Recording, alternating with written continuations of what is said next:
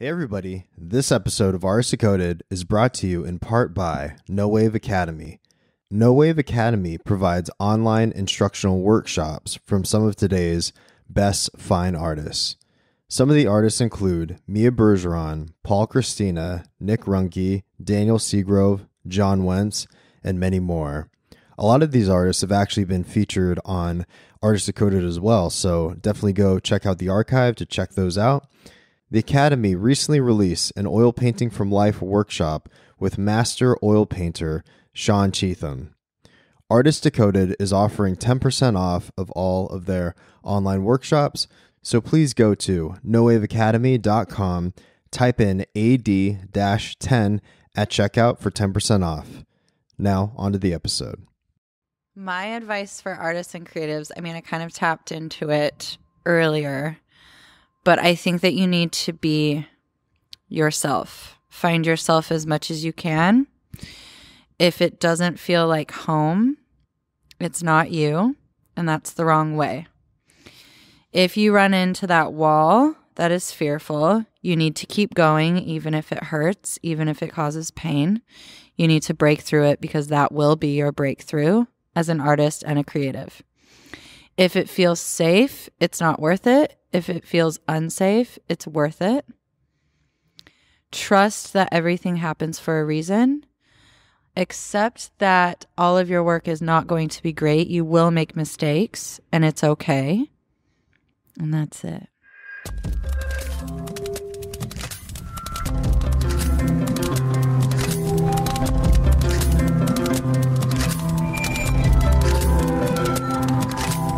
Everybody. Welcome to the podcast. This is your host, Yoshino, and you are listening to episode number 152 of Artist Decoded. And in this episode, I get the opportunity to talk to dancer and choreographer Denna Thomsen. She's a person that I've known for a while through our mutual circle of friends in the industry, but we never sat down and had a conversation until this conversation last month. And she's an extremely talented dancer and choreographer. She's someone that I truly respect, and she's worked with the likes of Madonna, David Bowie, Justin Timberlake, Snoop Dogg, Florence and the Machine, and Sia, to name a few. I'm also providing a few video links to her work on our new and improved website, artistdecoded.com, where you can see one of her music videos for Sigur Ros, which starred her alongside actor Shia LaBeouf. If you want to follow her on Instagram, her handle is at Denna Thomsen. Before I forget, please go to our iTunes page and leave us a review. It helps reviewers just like yourself to hear about this podcast. And without further ado, here is my conversation with dancer and choreographer Denna Thomsen.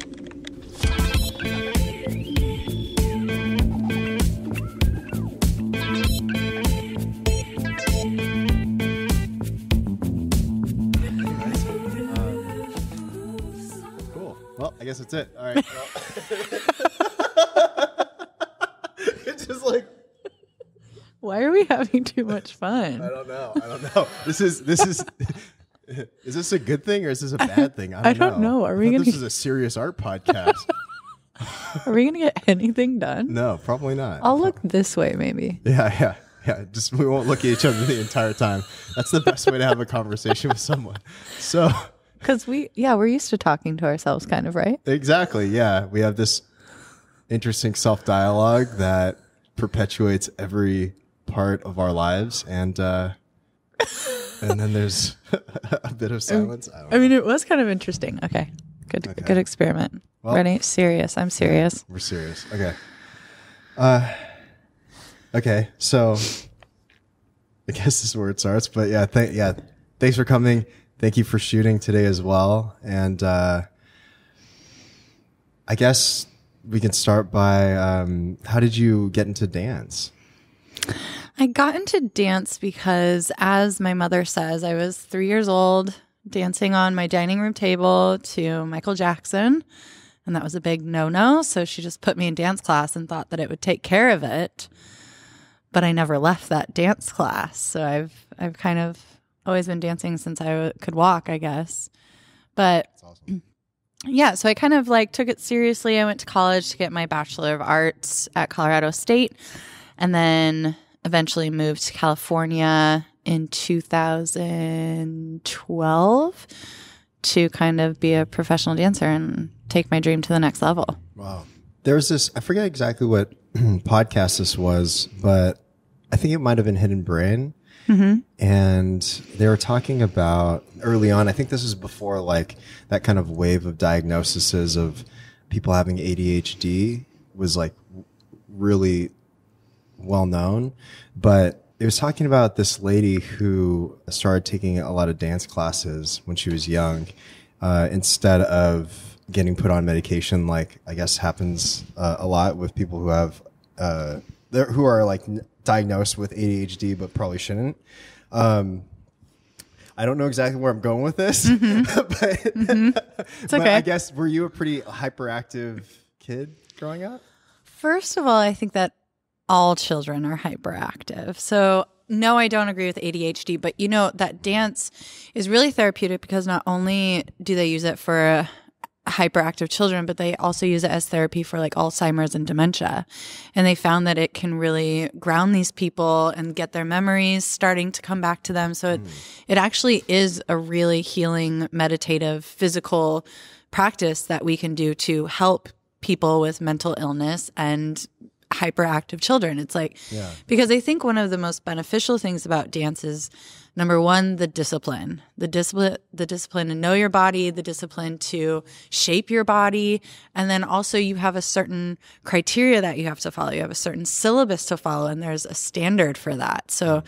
it's just like every athlete, but I think the discipline is probably the like most important thing for dance and that's why i think it does help with children that are hyperactive mm. and probably alzheimer's it's disciplining your mind to focus on one thing Yeah. you know Speaking of the discipline aspects, being able to, at a very young age, start taking dance classes and utilizing that as like a, uh, I guess something that you can focus on and be able to utilize as, yeah, I mean, to ingrain this uh, idea of discipline in your life. Do you think that has carried on into the other things in the way that you approach life in general? I do think that the discipline in dance has helped shape my life today just because, you know, there's structure.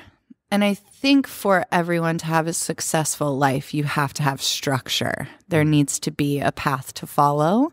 And I think that's what I learned from dance, especially now as an adult, to have structure in my life.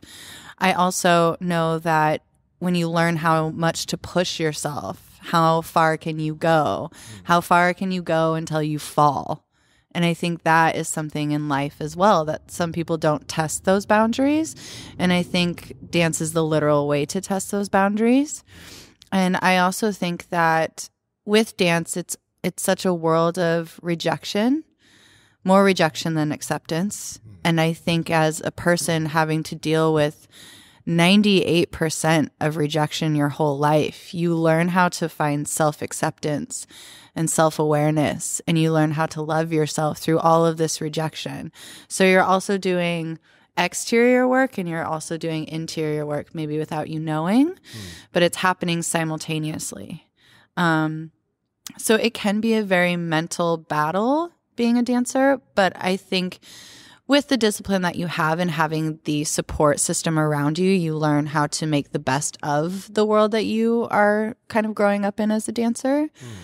Um, so it's like dealing with that as well as an adult, and um, so I think that's how I how I relate it to my adult life now. Yeah. Mm-hmm. I guess so. When did you become conscious of that? Because you're saying that you're learning it simultaneously, like understanding that you'll get rejections in life and constantly getting the rejections and being okay with and being able to look inward and, and find some sort of semblance within yourself and some peace within yourself. I guess, when did you become conscious of that? Yeah, so I think understanding the rejection and understanding myself and as as an artist, I think came when I was about 24 years old.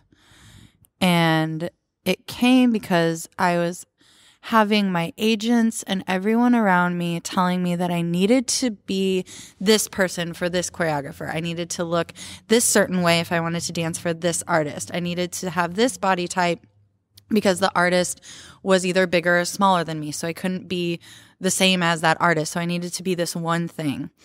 And as I found myself trying to mold into whatever I thought that these people wanted me to be, I kept getting rejected and rejected and rejected and rejected. To that one point, I remember breaking down in my room because I didn't understand because I was doing everything that everyone has told me up until this point.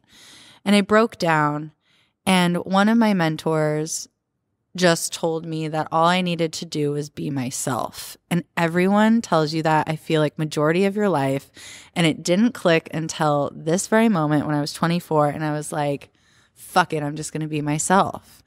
And once that happened, I started to like delve into my artistry. Like, no, I want to be the weird creature dark girl and I want to dance like I am having schizophrenia and like all of this stuff. And I just started to explore more outside of what I have been taught. And in that moment of ex- exploration, I found that rejection didn't matter to me anymore. Once I didn't care about dressing up for this person and wanting to be next to this artist, once I started focusing on my art and what made me happy, it didn't matter who rejected me because I was satisfied. I was at peace with my own art. Yeah. And also, I think that when you are at peace with your own art and yourself as an artist, that's when you become the most successful. Mm-hmm. The more that we can tap into our own, to ourselves and look inward, and also tap into our subconscious mind and be able to access that place and have trust and faith in that place, the more that we can actually attain the things that are true to our to ourselves. Mm-hmm. And um, I mean, this could even be related to like Taoism and Buddhism, but um, and I, I, guess essentially trying to find that place of nirvana mm-hmm. within ourselves. But I think at the end of the day, the more that we trust our own unique sensibilities, um, the more that we can actually reap certain rewards, even if it's not immediate, but constantly are able to go down that pathway.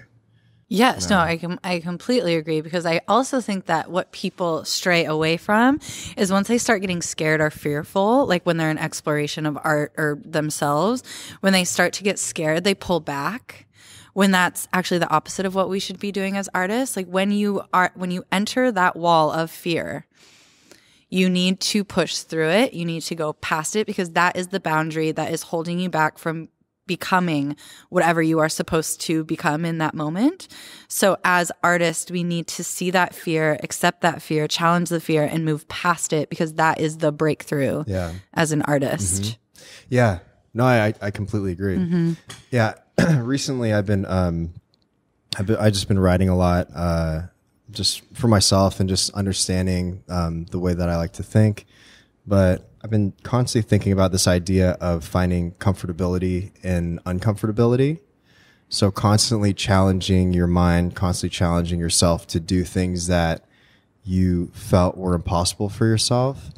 And whether that's physically or mentally, or, you know, I think those are all challenges that are microcosms that present new neurological pathways that you can create for yourself. And, um, and even thinking about defining our own standards, you know, um, defining or defining our n- new, um, normal, I think is something to think about. Mm-hmm, yeah. mm-hmm. Mm-hmm. I mean, that's interesting that you talk about writing because I think that a lot of people ask me, what I do to become inspired, mm-hmm. which is one of the most interesting questions because I don't I don't know if I know that answer for myself and I want to ask you too just because I don't know. It's such a weird question like what are you inspired by? Because it literally could be an answer of everyday life. I could tell you everyday life. Yeah. Because I learn something constantly through everyday life. But one of the things that I like I to do is write. I mm-hmm. love writing because it teaches me so much about how I'm thinking And when I go back, I'm like, wow, why was I thinking this way? Or where was I? Or then what I find is that I'll start to write and then five pages later, I have no idea what I've written down. And it probably doesn't have anything to do with the first page. But now I've gone into this like ethereal world that I just created. And now I have a dance routine on five pages or like a different character. Yeah. So I think, I don't know, writing it just, I was like, oh, and then inspiration. I but I feel like I mean I mean I feel like inspiration is just observation. yes. You can get inspired by literally anything. You can sit there. I mean, maybe this is like the psychedelics, you know, kind of coming out. and, and, and It's fine. Yeah, that, that I'm currently on. oh my god, I didn't tell you, but uh, yeah, um, yeah. I mean, literally, like you could get. So I started writing.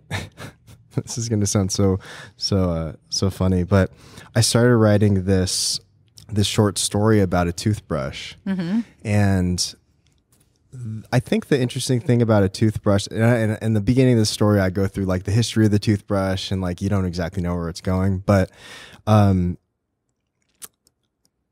what I notice is that the toothbrush is kind of a microcosm for a relationship because when you start a relationship with someone, uh, you know, it's like kind of a rite of passage or something, you know, where, you know, it's like, oh, you- you're staying over for the first time. And then, uh, you know, it's like, oh, I have toothbrush and blah, blah, blah. And, but at the end of that relationship, you know, the toothbrush has so much more meaning because then you have to throw that toothbrush away. And, um, and even the conscious decision of, of, of throwing that object away, which is a representation of this relationship in a certain way, um, I thought was really interesting. And, but, you know, I think inspiration can come from literally anything. And I think like the more observant you are to your surroundings and the nuance of things, then the more that you can actually understand how you think, why you think that way, and what is meaningful to you. Absolutely. Um, Absolutely, completely agree. I don't have anything more to add to that. Like, yes, yes, yes, yes. Yeah, and I, yeah, I yeah, it just, but I think like, and that's where I, I've been thinking of the the idea of just going more inward, you know, instead of uh, external, you know, and outward. I think the more that you understand yourself, the more that you understand the way that you intake things, and that's you know the writing practice. I mean, I'm curious like what you do with your writing practice as, as well. Yeah, I don't. I, d- I mean, there's not really kind of a, a structure that I really do. Okay, yes, there is probably. What I do is I turn on music and I love it because what happens is my mind goes to a different place and then I just start writing and I create characters. And it's almost like the sound of the music makes my body feel whatever feeling the music is implying. And then from there, when I decipher the mood or the feeling, then I create characters. If they're, if it's a family, if it's women, if it's men, if it's children, and I start to write about this scenario of relationships, like your little toothbrush. I, I like write about a father and a daughter or a father and a son, and I create these relationships on these pieces of paper, and I write down the movement and how it should feel and what my goal is at the end of the song hmm. And then I just leave it. And sometimes if I need to go create a piece, I'll look back at this journal, or sometimes they don't get created, which is fine. It's just like making sure that your creative genius is constantly flowing through and that it's working because that's the thing is it has to be working otherwise it's dusty and you have to learn how to use it again and all this mm-hmm. stuff. So you have to keep it up to date mm-hmm. programmed ready Yeah. to go you know? So they're kind of in my pocket. And now i just feel like i need to go back and look at my journal Hmm. because I haven't in a while. Yeah.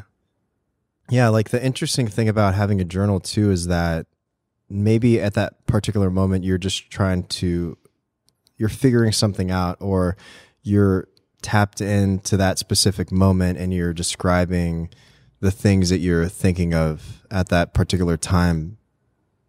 And when you look at it, like even when I do a photo shoot or something, I, I like to look at the photos that day and then because it's kind of weighted with these certain feelings towards the photos you know you just do the photo shoot and then come back to it a month and a year later and see if there's anything that even like cropping into an image or you discover something new.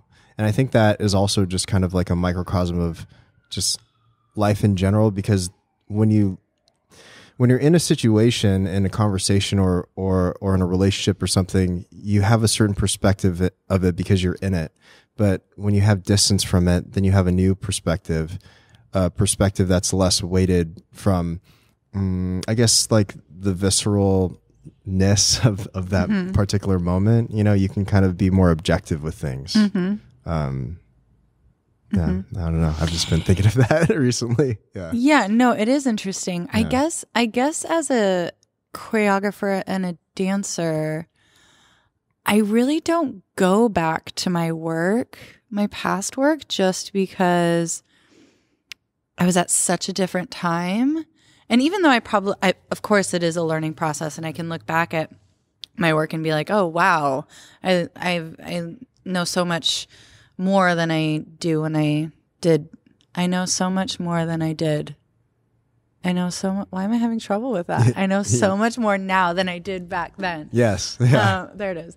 Um, but just because like it is at a different point in your life, and I feel like as artists, since we're constantly evolving and progressing, that I have to do it justice and service to just let it go to not go back and reshape it, to not go back because I always find that I am not satisfied, which is another interesting thing about an artist.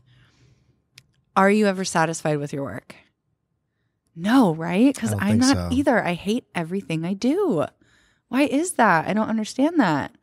But I've accepted it. I mean, it could. I don't know. I mean, Yeah, I what guess, is that? Uh, Like, why don't we just ever look at something and we're like, wow, I did really good. I did really good. Have you ever told yourself that when you like look at something? I've never done that. It depends what it is.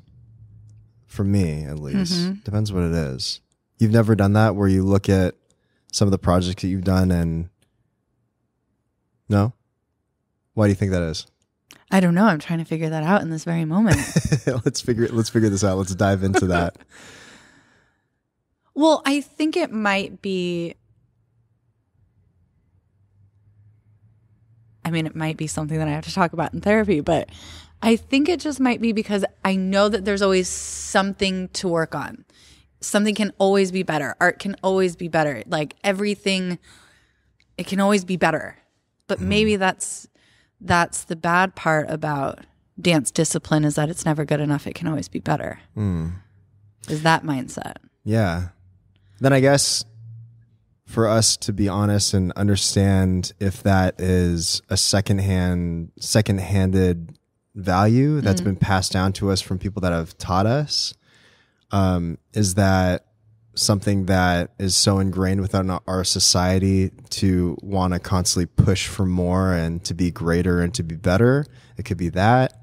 Or is it um, something that I guess is within ourself to that sort of like drive and ambition? Because I, f- I also feel like that drive and ambition could be a disease if you don't understand what that where that or or why you have that drive and ambition because constantly pushing yourself further and further and further you're actually damaging yourself if you don't understand why I'm not saying that that's the case for you, but this is just something that I think about. Yeah, no, totally. I do I do think that you have a valid point in that. I think I just why don't I find it? I just want to do more. I'm so selfish. I want to do more. I want to do better. I want to do you know? Or Yeah. maybe it's I I mean it could be the fear of rejection. Maybe. Hmm. So I'm telling myself that I, I'm not going to like it because they won't like it. Hmm. Just to protect Yeah. myself. Yeah, I mean, it could be. What I've just noticed is this: all these sort of compounding, complicated emotions. It doesn't have to necessarily be uh, one note either. You know, it's it's it could be everything all at once. You know, it could be about a fear of rejection, but it could be about this drive and this motivation and this hubris. But I think the best thing that I've learned is is to balance things out with a healthy ego. You know, because I think the idea of like ego death is kind of unrealistic. You know, I think that is like closely tied to when people do psychedelics for the first time. You know, it's like, oh, you're going to experience like an ego death. But I don't know if that's necessarily the case because a balanced ego is is is a a healthy ego is is probably more realistic. Yes. But um, yeah, Yeah. Why did we start talking about that? no idea. We are talking about journaling, inspiration, and then I got into my flaw of not liking anything that I do. So weird. Going into the rabbit hole. I know, totally. Yeah, we're going into the rabbit hole. we did. Yeah. So I'm curious, like, how, I mean, you know, speaking of that kind of last series of questions, but um, what does dance mean to you now, dance and choreography? Like, and how have you utilized that to just transform yourself? Or, or maybe the, the past couple years, like, how, like, how has it transformed for you? Dance has always meant something more to me when I was in my 20s is where I I learned that it was more about the story for me, which was never taught before that. It wasn't about story, it was about technique, how many turns you could do, how high your legs were. And then when I went to college, I learned the importance of how dance could tell a story. And I will always remember my professor, Chung Fu Chang, talking to me about the story. Every day, every moment, a gesture meant something, and it had to mean something every single time you moved. And so from there, I have taken that and implemented it into all of my choreography today. I never choreograph something that doesn't have a meaning. And I talk about it with my students. It's it's almost as if the story is more important to me than the movement because if you don't have the story, then the movement doesn't matter. And that's just the same as body language. When you talk to someone, you can tell how they feel that day. You can tell if they're happy or if they're sad just by the way that they're standing or how they're talking. It's the same with dance. You can understand if there's a story and a feeling behind it, and you can understand if there's not. So that has always been in my journey ever since I got done with college until today. And so I've been exploring that, and something that I've been really fascinated by is Butoh dancing.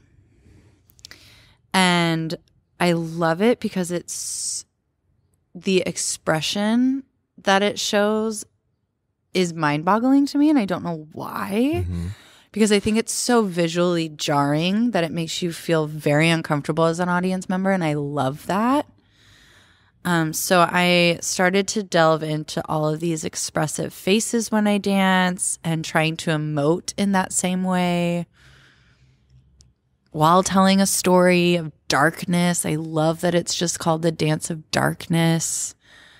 Um, that's one of my biggest inspirations actually is Butoh dance. Yeah. Um, but yeah, I think I think majority of it is just the story, which I think that a lot of people forget that we're here to tell a story. We're actually here to help the audience go through a journey of life and and feeling and to remember that they have a heart. I think that we forget and it just becomes some Yeah. mundane trick. Yeah. It's interesting how people are easily seduced by sort of things that don't matter, such as the accumulation of money. And, you know, that's like so highly regarded and like meritocracy, like in our society. There are things in this life that are so much more important than just accumulating wealth. The connection that you have with your friends, the connection that you have with your parents, and you know, and, and it's interesting how because of how our society is structured, it almost facilitates this um, this sort of like emptiness, and the and and people turn into zombies in certain ways. And uh, I mean, speaking of Butoh, you know, it's kind of an encapsulation of the, of like zombie almost movements, but in, a, in an exaggerated sort of intense way. Um, yeah, I don't know. I love Butoh dance too, and I I can't I mean, I guess I could try to articulate why, but uh, there's just something very visceral about and and primal about the movement. Mm-hmm. Yeah. But I think that's what art. I think that when art becomes like what you're saying, if it's if it has another, what what's the word I'm looking for? But if there's like another goal behind the art, if it's like to make a lot of money, or if it's like this art is to, I don't know. But if you can't find the meaning behind it, if there is no meaning to it, then people aren't connected to it. They can't find the relationship with that piece to themselves and they're disconnected. And the whole point about art is to make them feel connected, to make them have a judgment. Everyone should have an opinion. Everyone should have judgment on art. And the fact that we can be okay with not having a judgment or be offended by when people have a judgment about art we're not we're not we're not doing it right. We're not doing it correctly. Like people mm-hmm. need to understand that art is there to make you feel something if it's good or if it's bad but it's there to make you feel something. And that i think is what artists forget about. Mm-hmm. But also not to have the pressure as an artist to like oh i have to make something grand so that people feel something. I think if you're in the moment it will happen naturally. But I mean, I think that's why I have problems with some of the art today is that I just don't see passion behind it. Yeah.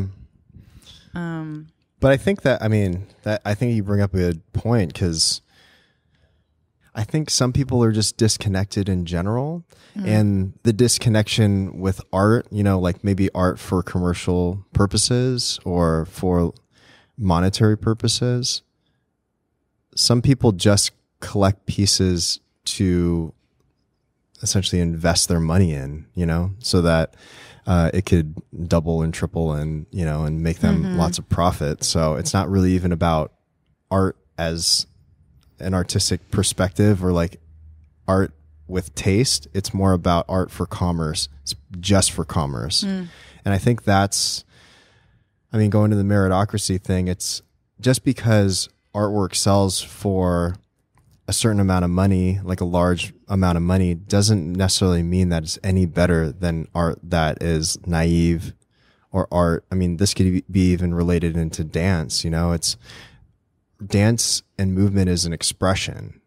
You're expressing something. So for someone to put it in a category to where it's like, that's not proper technique. Mm. It's, this is, no, this is an expression of, of who I am. And the more that I think people are express who they are in general, whether it's dance or through or through another medium, painting or or whatever, the more that they can actually feel that sort of connection with themselves, which hopefully resonates out to others. absolutely. This is another one of those yes, yes, yeses. But I think that, I think that, I, I don't know. I guess I would have to really like contemplate and think whether I think artists collectively are doing that. But I feel, if I could give my opinion about the dance world, I don't feel like dancers are taking a leap towards that. I feel like they're more focused on popularity than the art itself and they're forgetting about it. And I wish that we could collectively just remember that it doesn't matter about any of these fake things that are happening in the commercial world. Um, Yeah. I just wanted to share my opinion about that one, I guess. Yeah. No, no. I mean, I think that brings that brings up a good point. And I mean, is that also where the inception of Congress came into play? Yeah, Congress Congress happened because I mean Zach so with my partner Zach Ryan Schlegel, so we created Congress, which is the Salon Collective dance event in Los Angeles where we ask eight choreographers to come and showcase work. It's very intimate. Um, it's in a 360 because we believe that the performer should be on the same level as the audience to not make the dancers feel that they are above the audience. But so we both have different stories of how Congress was created. So this is my version of how Congress was created. I was dancing for a really big artist at the Super Bowl in 2012. And unfortunately, it was not the dream I thought it was going to be. It was, it made me question why I was a dancer. It made me question my whole life. It made me question my dream because I just was not satisfied. I was not happy. I thought that that's where I wanted to be. And so I wanted to create a show where the dancer felt like they were the most important, that they were the talent, that they were the ones that people were clapping for because they work so hard. It is the most physically demanding job in the entertainment industry, maybe besides stunt workers. But they are the most underpaid. We don't even have contracts. They barely give us water. It's no it's not even a joke. So I wanted to create a platform where they felt like they were important. And that's what we do at Congress. We pay our artists, we give them free space, we give them a good dance floor, we give them food, we give them water, all the basic necessities that you need in life. And that's how Congress was made in my on my behalf. Yeah. Yeah. Yeah, that's awesome. Yeah, thanks. Yeah. I think a lot of people that are outside of the arts don't understand the things that that artists go through. People can speculate and but I mean, yeah, even with uh dancers, you know, I think like I mean, I think there is a lot of mistreatment that goes on. Dancers, they contribute so much to a lot of projects, but it's almost like you're the afterthought you know mm-hmm. yeah but like like the the crew gets fed and blah blah blah but um, for some reason it's like why why do, why do people think that the dancers are the afterthought oh i was on the crew list with the dog trainer i was put hmm. under the category of miscellaneous crew and it was me hmm. and the dog trainer hmm. You know what I mean? Like yeah. what? A what? Yeah. I did not train my whole life to be next to the dog trainer. That's for sure. Mm-hmm. And then in credits, I go next to catering. Are, are we talking about a, a, film project or? Yeah, they were both different projects, but yes, yeah. it's either TV or film. I can't remember which one it I was. See. Yeah. But um, well, yeah. I mean, and then when you look at you know just to blast them out, but if you look at artists, I mean, I think they did a couple of articles on it. It was either Variety. No, it was Rolling Stone. They did an article about how dancers are being exploited and working for free because this past year in 2019, I think Beyonce tried to hire dancers for $200 to mm-hmm. work. I don't know the exact specifics, but to like work a 12 hour day. $200. I mean, that's insane. Yeah, that's insane. But no one's getting in trouble for it. But then there's, you know, young dancers who are like, yeah, it's great exposure. But really, what they're doing is they're just setting us back. And that's the other thing is camaraderie, you know, like standing together as one, you know, like that's why the Directors Guild is so important and strong because they all stand together and fight for one thing. Mm-hmm. Just like the writers, they all went on strike and dropped all of their agents because they weren't happy with their contract. As dancers, we are so divided as artists that it is a joke. We can't even stand together. Mm. If I'm if I'm going to sit here and be like, "No, you want to know what? We need to get paid, we need food, and I'm going to step away from the job." There's a little naive little young baby who just moved here who's like, "Oh, I'll do Justin Bieber for free." Mm. For exposure. Yeah. When he has millions of dollars. Yeah. You know, it's mm. frustrating. Definitely. Now I'm just going on another tangent. Don't get me started. No, I mean it's no, it's it's it's it's something that needs to be talked about. I mean, the, the same thing happens I guess we're talking also about just people's ambition for fame as mm-hmm. well, because I encountered that also with photography when I was working as like a professional photographer and people were underbidding you and doing things for free. And I mean, now with magazines, I mean, no one's really getting paid unless you're shooting for like Elle or Vogue. Yeah. That's insane to me. Yeah. I mean, but that that's a whole nother that's a whole other system too because print is dying and the the thing is is that people will that are good photographers will do things for free and because people will do things for free. These big corporations feel like they don't need to pay anyone anymore. Mm-hmm. And I mean, that's the same with music videos. I mean, music video budgets are like completely under budget mm-hmm. um, compared to what they were five or 10 years ago. Mm-hmm. And so everything continues to get perpetuated, but the artists have to stand up for um, basically, if, if no one had artists to do these things that were willing to do these things for free, then these companies wouldn't be able to exploit the artists. Yes, that's absolutely correct. But I also think that with this new age of like new media, that it's almost moving so fast that it's it's hard for all of us to keep up mm-hmm. with all the content and all the all the different contracts and the legal the legality and all of this stuff. It's it's hard, I think, because these motherfuckers are moving fast. You know I mean? Like, damn. Yeah. And now the whole thing with the now I'm just segueing into another thing, but the whole new tax. Oh yeah. Oh my gosh, I don't even tax stuff. Yeah. like. I don't really know what. Am I fucked? Are we fucked? I don't know. I don't know. We could totally be fucked. We're fucked. We're just fucked now. We're talking oh my about it. Yeah. Yeah. Yeah, let's not go.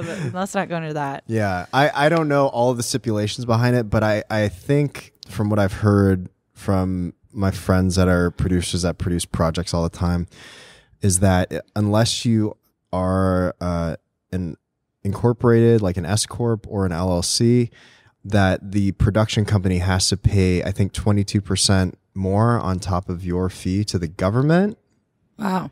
This is just what I've heard. Yeah, I get it. I need to. people will have to fact fact check this. Yeah, I don't know. The, but uh, um, yeah, I, I heard it's not it's not a good thing. Twenty twenty. Yeah, it's not a good thing. Yeah, but um, We're already struggle, struggling artists. What are we going to be now? yeah, Drowning artists? I mean, I don't know. yeah. Drowning, know drowning which one. artists. Quicksand? I don't yeah, know. which is which is crazy because to think too because I mean to put your career into perspective. I mean you've worked on like a lot of different projects from working with Shia LaBeouf and doing the Sigur Ros video to working on Booksmart with Olivia Wilde and working with Sia and you know so you're essentially at a level where you're at the pinnacle of where a lot of dancers would want to be. But what is your perspective on just the way things are, are moving right now? Like to say it shortly i guess like do you see your career as a dancer and choreographer being a viable way to make a living going forward with all of these you know different things that are happening right now I think that being a dancer and a choreographer, like any artist, is a hard career to have a substantial lifelong career. And I am actually in that place in my life right now where I'm questioning whether or not I can continue just because it's such a competitive field. Um, you know, and I've I've hustled and fought for so long that I don't know if I have that bite in me anymore. Um, which is a scary feeling as an artist to feel. Just, you know, there's a lot of young people coming in that are really hungry. And it's like after you've spent 12 years doing this in the industry, like I don't know if I have that I don't know if I have that fire anymore, you know? But I also think it's hard, especially as a choreographer, just because we don't have we don't have a contract with SAG. They look at us as if we're nothing. So there's nothing that gives me health and pension. It's all to a producer's discretion. So most of the time when I'm on a job, I have to really kiss ass if I want to get health and pension, mm. which is a shame because I deserve it. I'm working really hard. I mean, everyone else on that job is getting it but me. And then, you know, we don't have a base salary, so we have to negotiate that every single time. So that's a fight every day. Mm. And I think that successful choreographers, they come and they go, just like every new hot commodity. There's not really one choreographer that stays up at the top for their entire lives. One that I know of is the queen herself, Fatima Robinson, and that's because she's a queen and she knew how to do it business wise, you know? Um, but other than that, you know, you come and you go. Mm. So is it substantial? It is for me now, but my time will come, Mm. unfortunately. So then, I guess uh, understanding that, like, how do you shift? Like, how do you?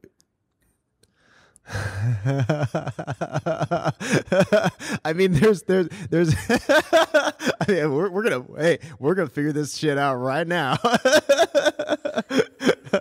we're gonna figure out how we're gonna shift your career right now, right here, right now. I mean, I'll, I'll give this a little anecdote from just my experiences, Yeah, and maybe this will this will help a little bit. But pre 2015, before I started the podcast, I was working as a professional photographer. I was shooting pr- photography jobs and com- commercial projects and things like that, and doing freelance stuff. And then I just saw that photography, like I knew that people were not going to be getting paid for magazines anymore. And, you know, you'd have to shoot for like Condé Nast or Hearst, you know, Elle and Vogue. And I just had that conversation with myself. I was like, you know what? I don't think I want to do that. Yeah. It's like, how can you shift things to work in your favor more, you know? And then I started thinking about the podcast and then getting into art sales. And, you know, I met Justin on uh, the podcast and then we created NOH/WAVE. And so, like, I think there are still ways to do things as an artist, but being able to shift the perspective a bit to understand what your sensibilities are and then dissecting that and then figuring out ways to make things more sustainable. And this is just a constant challenge that I am always running in my head like, okay, how do you continue to make what you like to do sustainable, you know? So it's like there's there's ways, you know, it's online workshops or like you know doing you know even doing like a like a like a platform like a dance platform and things like that. I mean anyways. Mm-hmm. Yeah so i don't know. I guess like the the interesting thing is like life in general on a macro perspective always challenges us. And i mean this goes back to to dance you know? It's like dance has made you into a resilient person because of the constant rejections and this is just another chapter that's opening up to challenge you right mm-hmm Yeah, I mean, with what you were saying, I mean, I think you put it better than I could have. But yeah, I think like to make that next move, it is finding how you can implement what you've done in the past and how you can make something sustainable. And that's why Congress is a huge thing for me. It's a reoccurring show. I I know dance better than anyone. Just kidding. But like, you know, well I i mean I can- I not just kidding you do I can use it, but like I can use it and have a reoccurring show so that I can show the audience great dancers in LA every two months, you know. And then we're also thinking about doing this online thing, and it's just like that sustainability, which is a different mind shift, and you just have to know how to switch your mind because it's different. It is creative, but it's more of the business savvy kind of mindset and it's it's that shift that I think is hard for people. Mm-hmm. And it's scary to go into because once you're a performer or an artist, you know that world and then all of a sudden you have to stop and go behind the scenes a little bit and create something different for the audience, if that Yeah. makes sense. Mm-hmm. But I think you're totally right. It's finding that sustainability. It's just Yeah. figuring out what it is for yourself. yeah mm-hmm. i think about this so i i don't know if you knew this but i've been a martial artist since i was 20 years old I didn't know that. Yeah. And so I actually wanted to be a professional MMA fighter like when I was in my early 20s. And I was thinking about it and I was competing in tournaments like Brazilian Jiu Jitsu tournaments and stuff. And I was like, man, this is really fucking tough on your body. you know, and I'm sure you encounter uh, something similar with dancing. I mean, the way that you dance, it's, you know, it's very emotive. It's a lot of energy. And I would imagine you have had injuries in the past that um, sustain over time, you know? So it's like, I think even with that, like the physicality of it, understanding like how much a body can take, how much your body can take, you know, and I don't know, that's just something I've thought about just being an athlete as well. Yeah, I mean, I think all athletes have to think about that, but of course there's like certain sports or skills that you have to like stop. You know, a ballerina's life is career is over at 17, 18. Mm. You know, and then and then what is she going to do or he Yeah. going to do, you know? Same thing with dance, you know, your body your body can only go so far. Same with fighting, same with any physical activity that you can do, you can only go so far. And it's like you can take care of yourself as much as you want, but there is going to come a day when your body's going to be like, you know what? That's cute, but I have to stop now.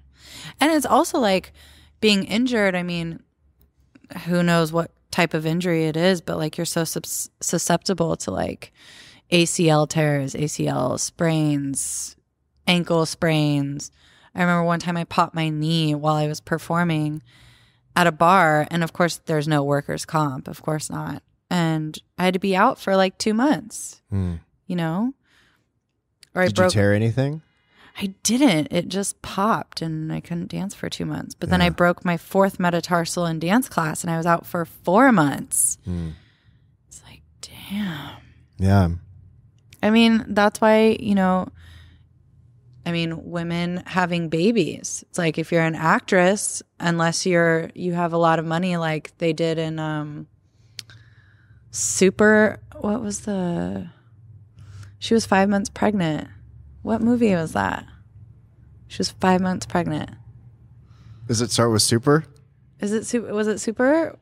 No. No, I don't. I don't know. I don't know. Uh, wait. Uh, so, so there's a an actress that was five months pregnant in the filming of this movie. Yeah, and they CGI'd her stomach out.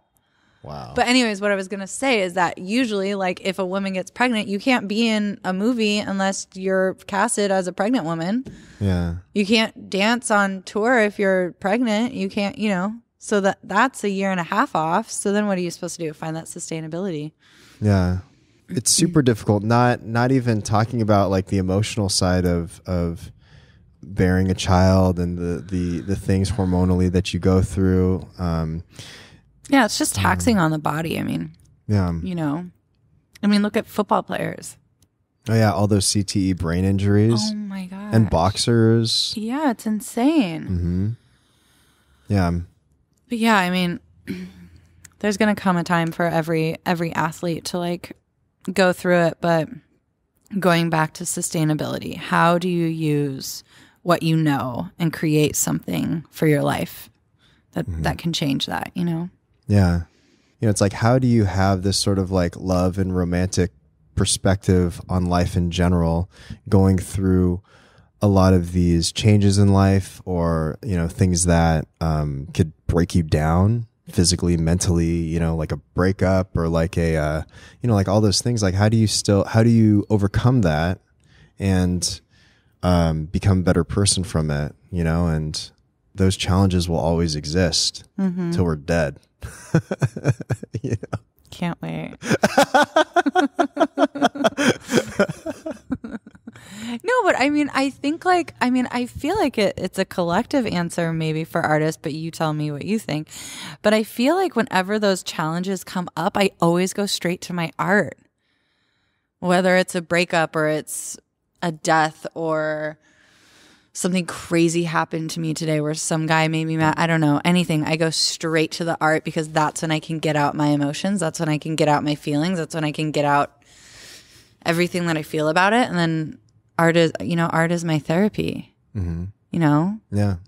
especially just because dance is physical. Dance is my art is physical. I feel like the physicality of it helps you release all of that emotional tent, like anxiety and tenseness and was letting your body like get it out physically, Mm-hmm. you know? Yeah. But I don't know. How do you do it? Well, I have to work out every day. Yeah. See? that that uh especially doing it in the morning, it immediately releases any sort of built up tension. That and writing. Writing helps a lot so that you can visually see yourself doing this thing putting words on a paper and understanding that these feelings are real. Mm-hmm. And I think having a lot of those emotional check ins and becoming more emotionally intelligent as we get older, I mean, it's, it's super healthy, you know? Mm-hmm. I've had really strange conversations with people, especially men who harbor their feelings. And it's really it's really interesting. It's really interesting to like have a conversation with like anyone that kind of like hides away their their feelings and emotions. And maybe because i've tr- trained myself to not Mm-hmm.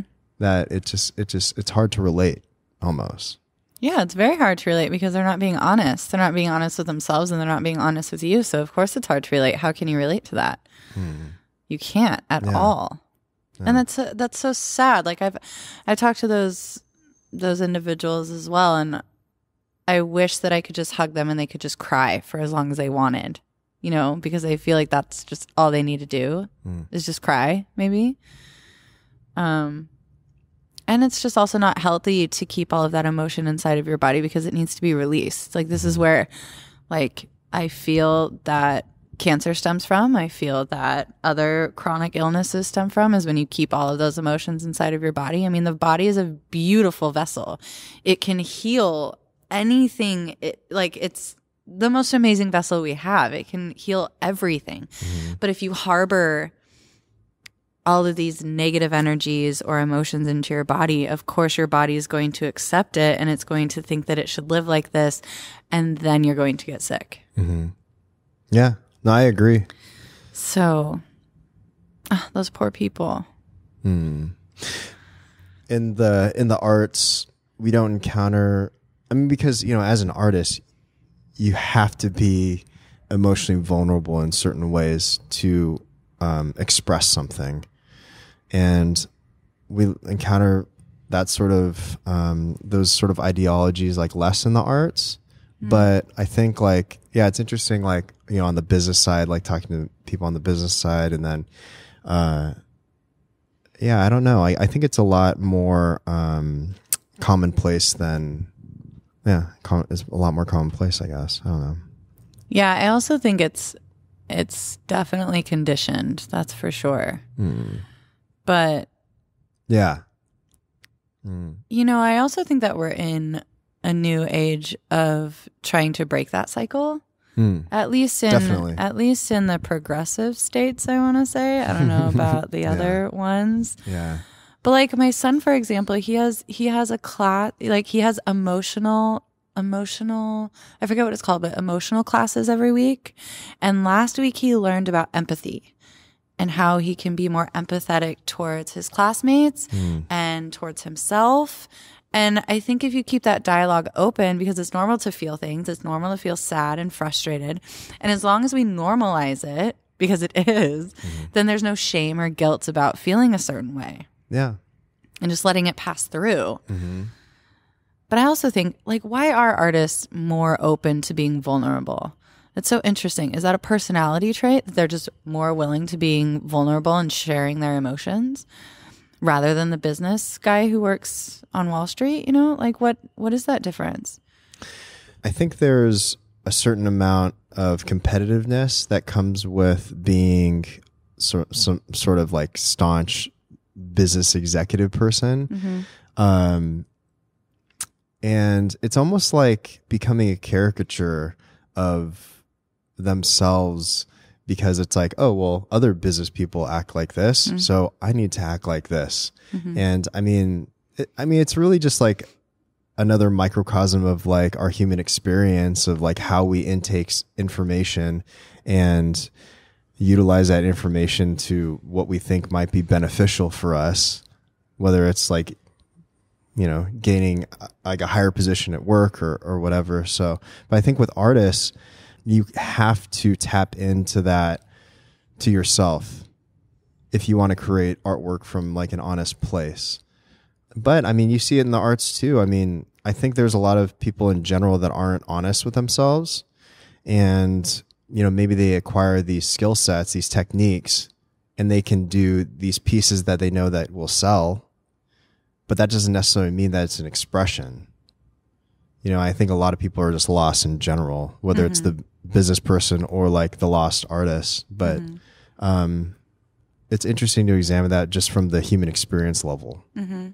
Well, yeah, because like thinking about it now, it like or hearing you talk, it makes a lot of sense because thinking that just like a normal business guy, what he or she is working on their entire day for the week is like all logical or it's very database or it's very like logistical and they never have to deal with anything creatively or like touch in tune with like how they feel about Yeah. that, you know? Yeah. But then on the opposite side, an artist is tapping into that, but not necessarily thinking of logistics. Like I know as an artist, I need to work on that hmm. for myself. Like hmm. I need to really logically speaking, cognitively, I have to work on that for myself because the creative and the feelings that I can tap into that any day. But if I want to like get back to reality, that's that's actually difficult for me. Like I have to focus on reality or like you know, smart decision business making. I have to mm-hmm. really focus on that. Yeah. So I wonder if it's the same kind of push and pull for the 9 to 5 as it is for me as an artist to like sit here and think about daily life logistics, accounting Yeah. and stuff. It's like the inverse. yes, Yeah. exactly. It's a it's a similar inverse Yes. of ideologies Yes. because I mean, if you think about it, like probably a majority of the people that you hang around, um, you are able to express yourself, have this sort of like honest dialogue.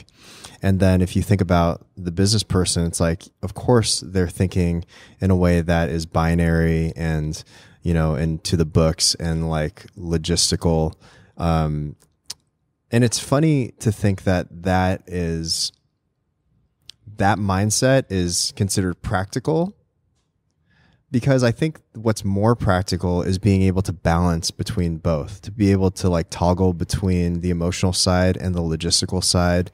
And actually, I, I was listening to this podcast with Robert Rodriguez, and he was talking about his mentor when he was a kid, and he worked at this photo store, and he was saying that he was telling him, you know, you're great on the creative side, but you really need to work on being technical. And I think like being able to balance those things out, he said that you can be unstoppable, mm. Which makes sense. And I mean, you, you know, and I think that's why like artists also need to be business minded and artistically minded because they both benefit each other.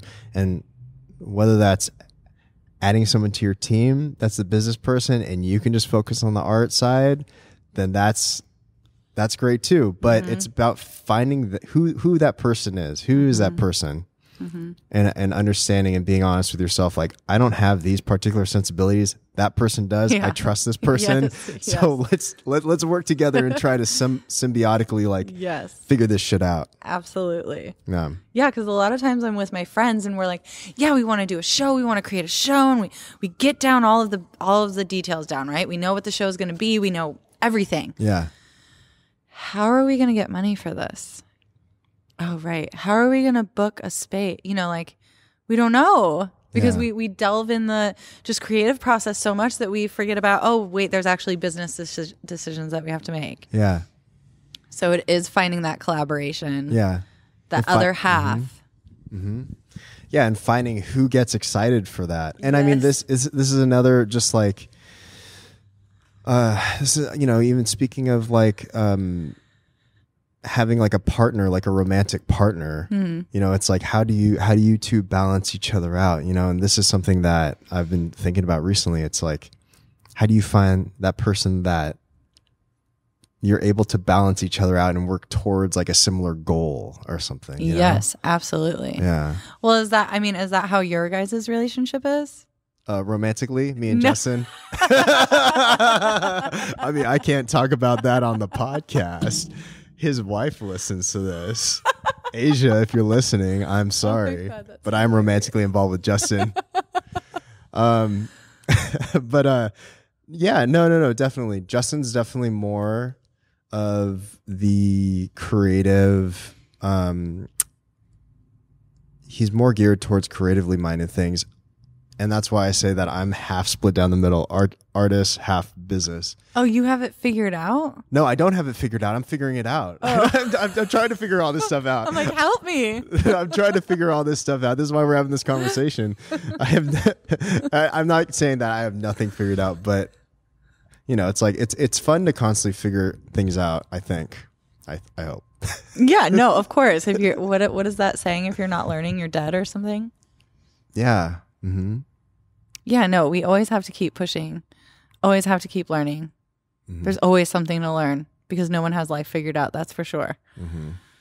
Yeah, because with Zach and I doing Congress, it's really interesting because he's the poetic. He has a bachelor's, maybe even a master's. I don't know in literature, poetry. I don't know some Mm. shit that I just don't care about. I have a sailor mouth, so we are the yin and yang of like all that shit. He's concert world.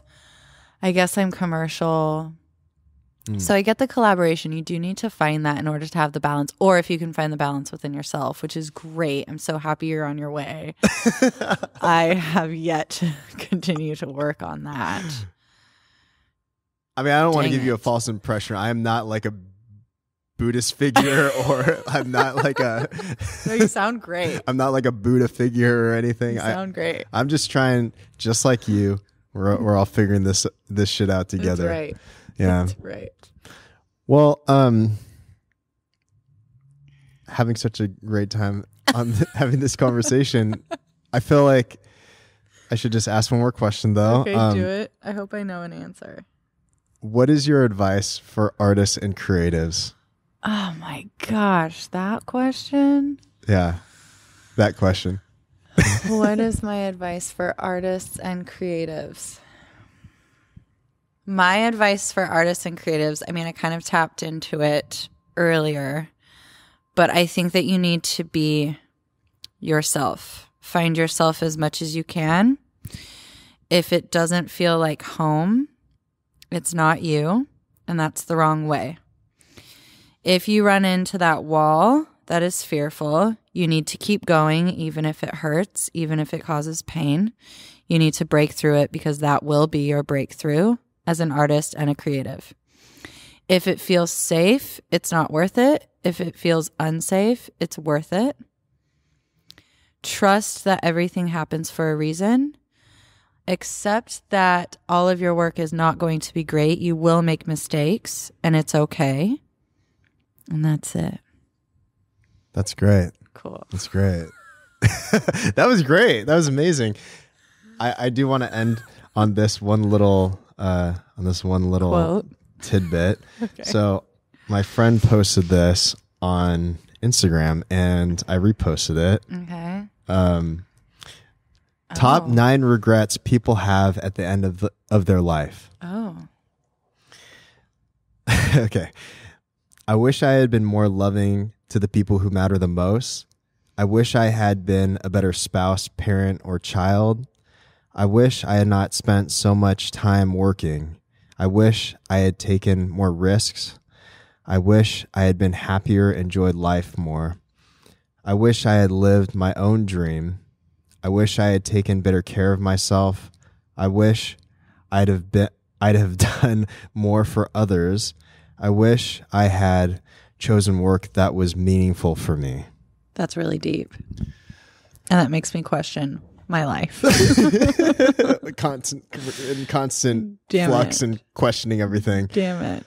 But then I was just thinking about my I was like, "Oh my gosh, what if he asked me what one of my regrets is?" And I was like like going through the Rolodex of like, "Oh my god, what is my regret?" Uh-huh. I don't have any, thankfully. Oh, that's good. No, it's great, but I think that if you were to ask me that question and I had to come up with an answer though, Okay. I would say that I would regret ever having self-doubt Uh as an artist. uh yeah. Anyways, that's my answer even though you didn't ask. No. Thanks for answering your own question.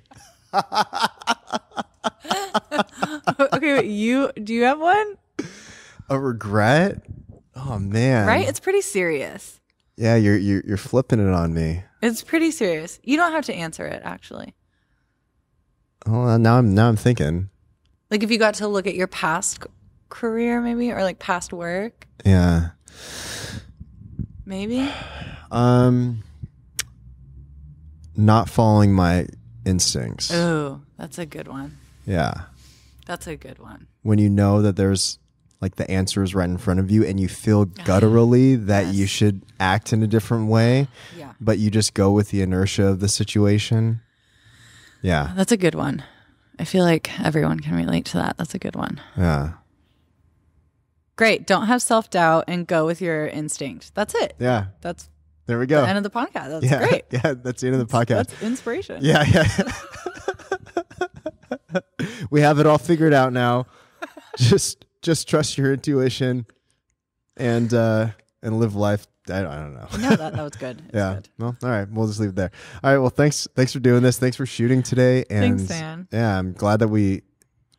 This is our first time sitting down and having a conversation. This was the best conversation I've ever had. I felt so uncomfortable. yeah, it was so good. You had me actually thinking. It was really good. Good job. Oh well, I mean, good job, dude. Yo, you go deep though. You know what I'm saying? Only sometimes. Yeah. All right. Well, thanks.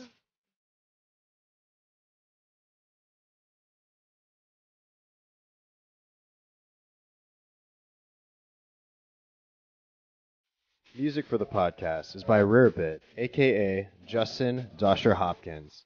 Creative producer is Kelly Kekich, and editing help by Matthew A. Paul.